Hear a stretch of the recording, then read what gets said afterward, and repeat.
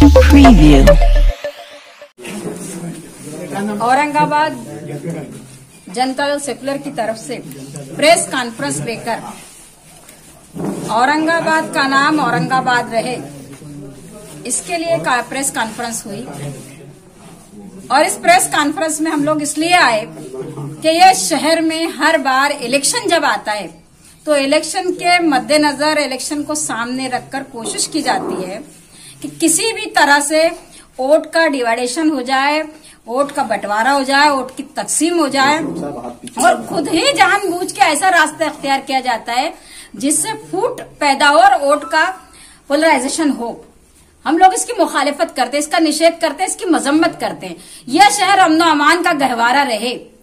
इस शहर में जो कुछ अच्छा हो सकता है शहर की तरक्की के लिए, पानी का बिल कम करने के लिए घर पट्टी कम करने के लिए, क्योंकि मेरा आज भी ताल्लुक कारपोरेशन से है, मेरी बेटी विरोधी पक्ष नेता है आज कारपोरेशन में, और वो ऐसी जगहों पर जाती है जहाँ दबे कुचले लोग रहते हों, और उनकी मांगे पूरी होती हो, सत्ता में नहीं, अपोजिशन में हम।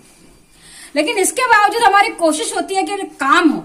तो मैं ये भी मानती हूँ कि अगर ताकत से अपोजिशन लग जाए किसी सत्ताधारी पार्टी के पीछे तो वो लोगों के काम आसानी से करा सकती है, इसलिए ज़रूरी है कि पूरी ईमानदारी से, पूरी ताकत से, पूरी इंसानियत का लिबादे को लेकर, अगर हम भी आप पीछे लगे सत्ताधारियों के तो उनको उनकी औकात याद आ जाएगी।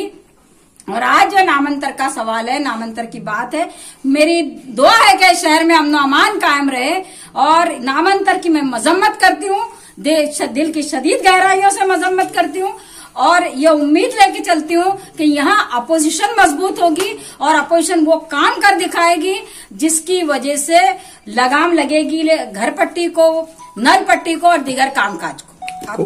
कौन सी कौन सी जो भी यहाँ विरोधी पक्ष हो उसमें मैं कोशिश करती हूँ जनता दल सेकुलर आगे बढ़े।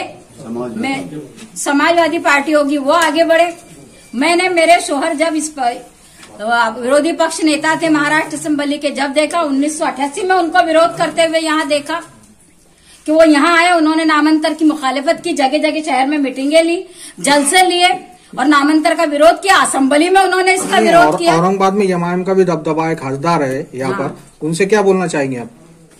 वो भी जो कारपोरेशन है, उसमें ईमानदारी से लोगों के हक में, लोगों का फ़ायदा हो, लोगों को राहत मिले, उसके लिए काम करे। सियासत से बेहतर भी यह है कि आदमी लोगों को इंसानियत के नाते दर्द दिल के वास्ते पैदा किया। इंसान को वरन ताद के लिए क्या कम न करो भी दर्द दिल भी एक दिल है। दर्द भी इंसान का इंसान को होना चाहिए और उन्होंने इस बात को समझना चाहिए कि हम जिस कुर्सी पर हैं वो कुर्सी हमेशा नहीं रहेगी।